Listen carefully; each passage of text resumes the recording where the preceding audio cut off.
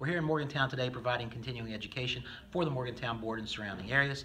The continuing education has been graciously sponsored by Clear Mountain Bank, and they also provided lunch.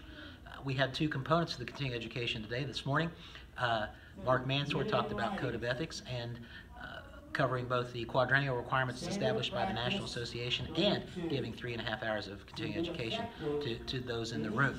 Remember, as a realtor, you're held to a higher standard and you must abide by a code of ethics in all that you do in the process of listing and selling homes. Hey everybody, it's Mark Mansour. I'm here in Morgantown. Just got done completed a three and a half hour Code of Ethics class. Uh, don't forget, December 31st, 2016 of this year, if you have not had your two and a half hours of the quadrennial Code of Ethics in the past four years, you are due.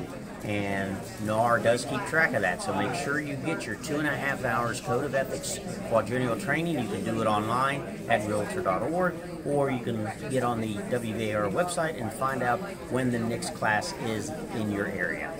Thank you.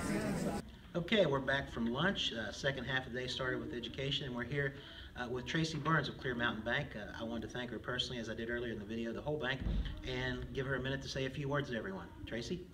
Hi, we're proud to sponsor today's event, and we'd like to thank the WVAR and the Morgantown Board of Realtors for their support.